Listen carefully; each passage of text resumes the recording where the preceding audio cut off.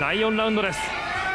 さあこの辺からねどういうふうにこう展開していくか、やっぱり山が来ると思いますがね、はい、残されたラウンドはあと2つ。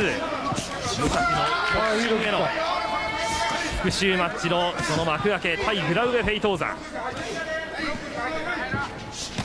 左ハイキック。グラウベ・フェイトーザ。あんまり見ちゃダメですね。こちらも右ハイキック、うん、そうですね。その中に入った方がいいという、えー、指摘もありましたが右のフック過ぎちゃうとね当たっちゃうんで、えーはいはい、あの最初のローとかですね、はい。あのぐっと入っていって、えーっていうのはいいですよね。確かに一瞬こう前が開きますよね、はい。右のストレートから左のローキックを絡めてきましたグラウベ・フェイトーザこの距離で戦うとやはり谷川さんグラウベということになってきちょっとあのやますかねっぱり武蔵選手があのグラブ選手のリーチ嫌がってますね。ああそうですか。思った以上に長いんでしょうね。ええ。あー危ない。左ハイキックグラウベの左ハイキッまあ下がりながらの範囲ですね。ク今のはまだ大丈夫。はええ下がりながらあのー下がりながらですからまだね、え伸びないんですけど、い右のフックを絡めてきました。グラウベ・フェイト。ーザえー、クラブ選手もあのパンチ自信持ってもっと打っていった方がいいと思うんですけどね、はい。あのーワンツーも速いですし、えリーチ長いんで、はい。一回打ち合ってみるのもいいかもわかんないですよ、武蔵選手と。特に今日のこのリング上はこれまで以上にボクシングがこう進化もう全然もう普通ですよね、えええもう K1 ファイターになってますね。えはい。本当にフィリオ選手はですね、あの僕にあのグラウビルの手足の長さがあったら本当に K1 のチャンピオンになれるっていうぐらい、はい羨ましがってましたからね、ええグラウビル選手には。破壊力から何から何までまだピリオにはかなわないよとグラウベはそんなあのちょっと控えめなコメントを残してはいましたが。それはやっぱり精神的なもんですよね、そうですよね。ね。はい。ええ。この怪物が K1 に適合した時が谷川さん怖いですよね、ポテンシャルの問題はすごい高いんで、ええ。あとはもう気合入ってね、やれば、はいさあちょっと武蔵が踏み込めませんか？まああのーいろいろですね、いろいろ考えてるんじゃないですかね、ええ。今ね、どういうふうにしていこうかみたいな、はい左ハイキックえ前足のローキックはいいと思うんですけどね、武蔵選手。ええ左のボディ何しろ懐が深いグラウベ・フェイトーザ今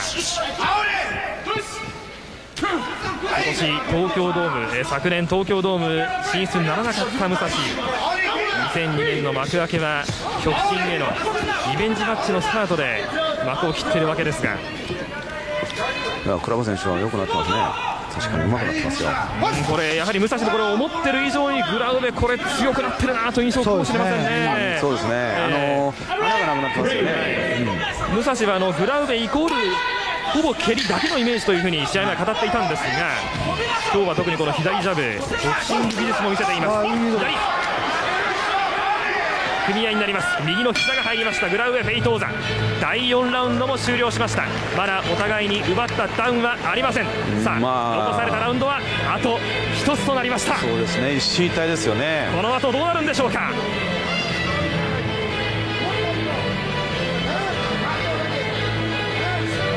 さらに進化した怪物グラウベ・フェイトーザ極真へのそしてニコラスへの復讐を誓って挑んでくる武蔵をここまではどうでしょう。互角かあるいは若干谷川さんグラウベか、手数はやっぱりグラウビル選手なんですけども、それが差に合ってるかどうかですよね。えーこの左ハイキックは谷,、えー。谷川さん危なかったですね。ですね。さ下がったから良かったですね。えただ武蔵選手はだからこの5ラウンド大きな山場が作れるかどうかですね。ーはい。あと3分です。ニコラスへの復讐を誓う武蔵。この試合残された時間はあと3分です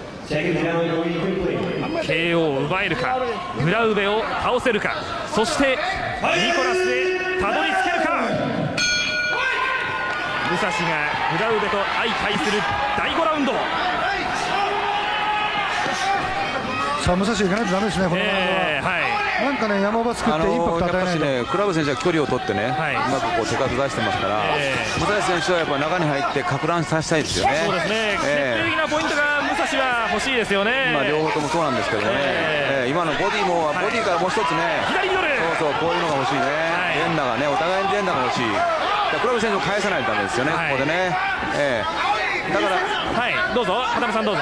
武蔵サイドの情報なんですけれども、えセコンドが手数で負けていると自覚しています。ポイントを取っていけと指示していました。はい。手数では負けているという指示。あのクラブ選手がやっぱリーチ長いんでね、ええ。ジャブ取って距離取るのがうまくかかってますよね。右から左。あいいですよいいですよ。このラウンドはこれこのラウンドはいいですよ、はい。ねもうちょっと欲しいですね。でも。確実にこう取りに行こうとしてますね、うん入ってますね、中に入っていこうとしてます。何しろリング下ではニコラス・ペタスが見つめる中での試合ですでね、やっぱあのクラブ選手は入ってくるときにカウンターを考えてるんでしょうけどね、っぱり下がって誘ってますよね。武蔵がですね。いやいや、クラブ選手、あグラベがですね。はいはい、ええええ。今まではですね、ええ。でももうこのラウンドはクラブ選手も出ていかないとダメですよ。はい。えまだこう完全にどっちが取ったというラウンドはないですね。ないですからね、今のところも本当逆にクラブ選手もこのラウンド取らないと勝てないぐらいのつもりでいかないとダメだと思うんですよ。右から左ストレート。グラブ選手もね本当にイソビシャンとか本当倒せっていう気持ちはあるとそうですね。思いますから、ええ。右のフック。